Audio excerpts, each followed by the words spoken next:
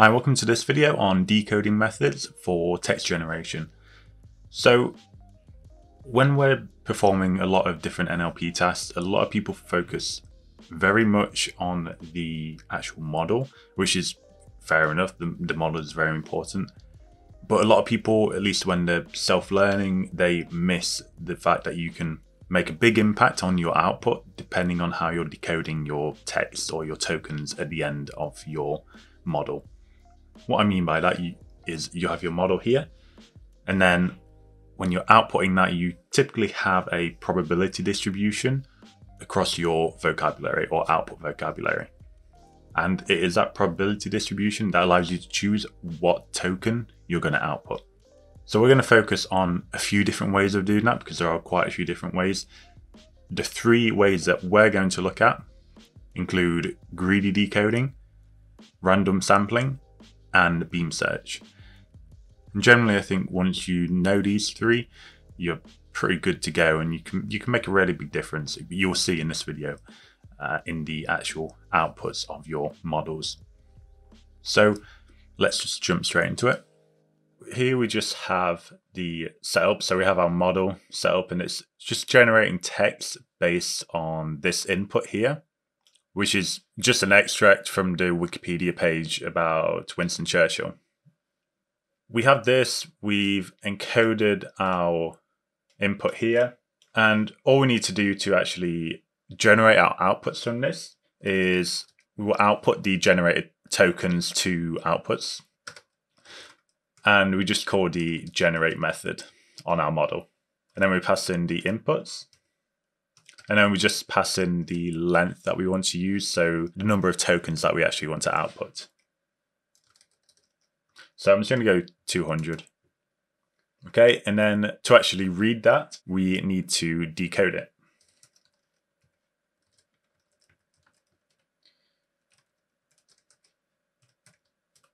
Okay, and that is our text. So I just want to point out here that when we're calling this decode method, that is not when we are using these decoding methods that this video is about. That that is just decoding using our tokenizer. So taking the token IDs that we do have, our predicted token IDs, and decoding them into English. The decoding methods that we're talking about take place at the end of this generate method here. So by default, this is greedy decoding. And greedy decoding is, I would say, the simplest approach and it's the one that you would probably think of when you try and just figure this out through intuition. So obviously we have our probability distribution and we have our output vocabulary and each value within that output distribution represents a, a mapping to one of our words or tokens. What greedy decoding does is simply chooses the token that has the highest probability, which obviously makes a lot of sense. And for shorter sequences, this is perfectly fine. But then when we start applying this to longer sequences, it causes a lot of issues. If you've ever seen a output that looks like this, where you have a lot of repetition, it just keeps repeating itself over and over again. This is typically because of greedy decoding. So when we're looking at longer sequences, what we will find is that it creates kind of like a loop.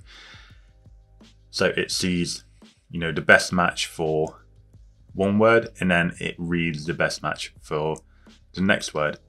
And then as soon as it sees that first word again as the next best match, it's just going to create a loop.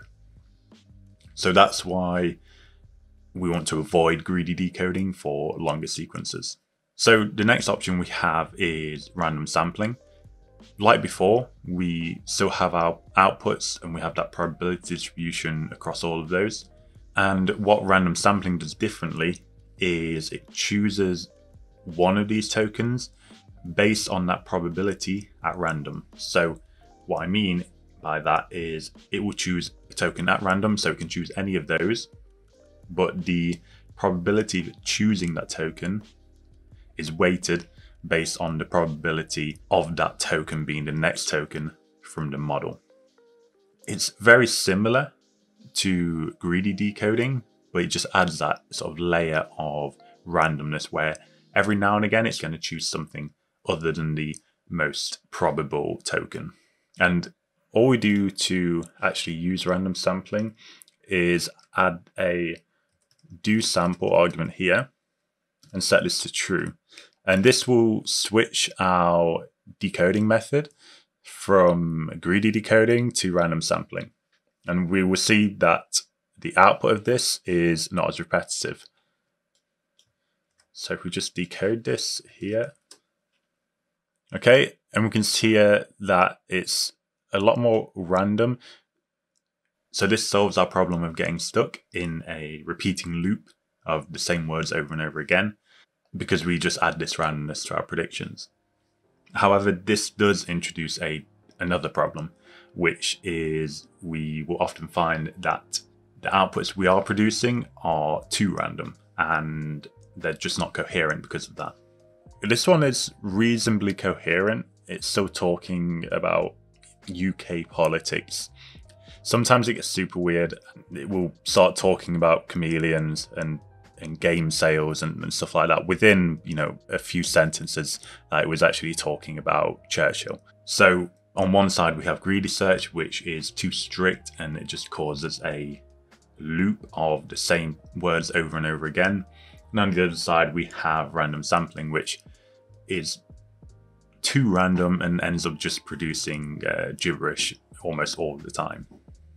So what we need is something in the middle and that is why we use beam search. So beam search allows us to explore multiple levels of our output before selecting the best option. Whereas greedy decoding and random sampling is just looking at the very next token and then calculates, you know, which one to choose.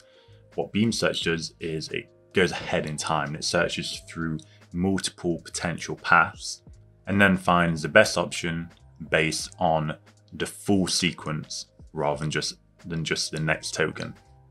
And this just allows us to assess multiple different options and assess a longer length of time than just one token, which means typically we're going to see more coherent language from these outputs as well.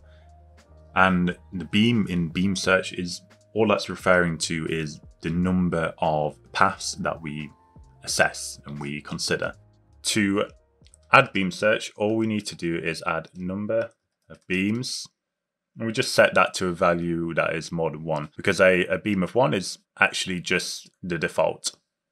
So if we set this to two, we then search two different beams or two different options at once. And this usually is pretty good. However, because we're now back to ranking sequences and selecting the most probable, beam search can quite easily fall back into this repetitive nature that we get with greedy decoding. So what we need to do to counteract that is add the temperature argument to our code. So the temperature essentially controls the amount of randomness within the beam search uh, choice. And by default, this is set to one. We can add more randomness to the output by increasing this, so say to 1.2. And this will just make the outputs more random, but because we're using beam search, it will still remain reasonably coherent unless we really turn the temperature up to a very high number like 5 or something. And if we want to reduce the randomness in our outputs, we just reduce the temperature to something below 1. So 0.8, for example. So with this, I mean, we, we have our beam search, we have some good outputs and uh, somewhat peculiar, but they're pretty coherent, so it's pretty good. I mean, I think that's everything for this video. I think these three decoding methods are pretty important to know. They can make a big difference in the quality of your outputs. So thank you very much for watching, and I will see you again next time. Bye.